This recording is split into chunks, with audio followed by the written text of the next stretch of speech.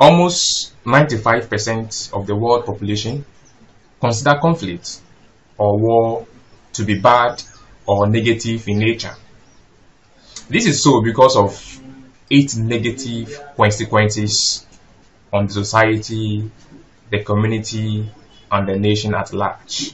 The aftermath of conflict always brings about death, destruction of properties, brings about loss of interest, retardation in development, poverty, and the rest. However, despite the numerous negativities, the numerous consequences brought about by conflict, it also have some positivity or some good aspect.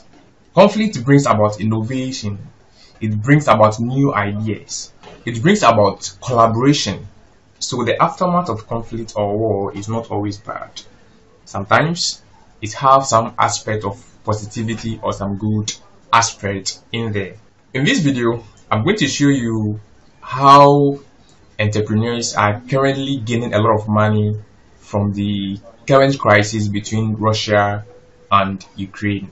One common trait of almost every entrepreneur is seeing problem as an opportunity to exploit or to capitalize on it to bring something or to find a solution to something.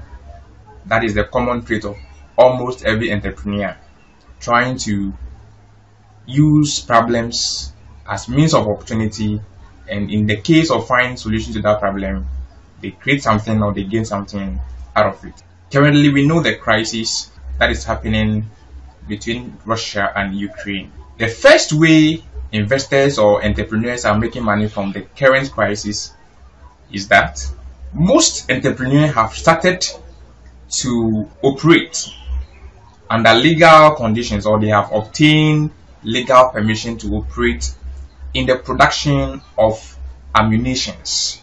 Yes, in the production of ammunitions. Entrepreneurs have seen that there's a need for the production of ammunitions, but in this case, it has been legalized and registered under their uh, jurisdiction laws to operate. Therefore, it, it's not illegal.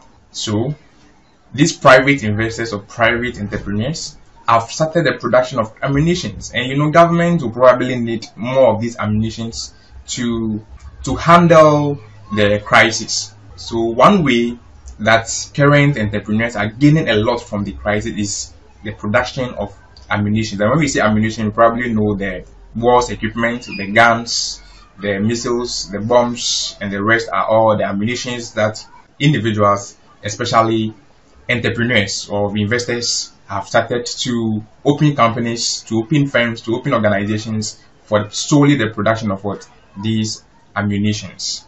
Another means entrepreneurs are making money is the means of transport. A lot of people in both Ukraine and Russia who don't like crisis or who always want peace are ready to move outside that jurisdiction just to, you know, obtain or observe or just to experience or just to have the peace they want. So a lot of entrepreneurs have capitalized on that and are providing the means of transportation, some through the sea, some through the air, some the use of what the the land. So entrepreneurs have also seen that as an opportunity to exploit. People are capitalizing on that and are transporting people from the various countries to their various destinations and entrepreneurs are really making money out of that. Another way entrepreneurs are making money out of the current crisis is investment. Most entrepreneurs don't have the means to open these big companies. They don't have the means to open the firms for ammunition production or they don't have the expertise or the knowledge. You know, you need scientists, you need, you need engineers in the production of these ammunitions. Some don't have the money in running the transportation or in buying vehicles, going for airlines and the rest. So what they do is they invest in those that are that are having the means, that are having the idea, that are having the requisite skills.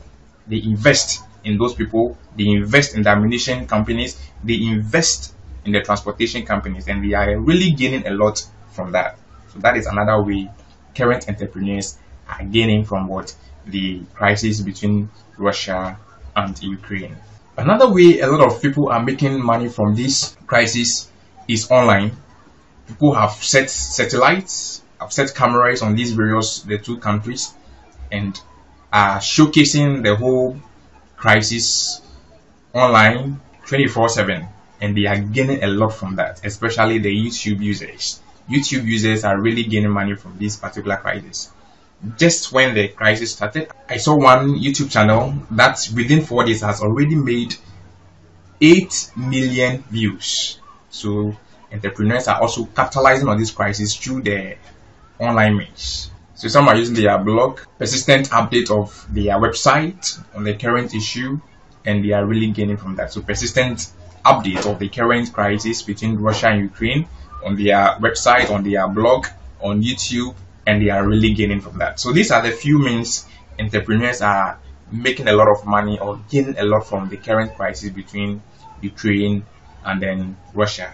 Please don't forget to subscribe and share for more of such insights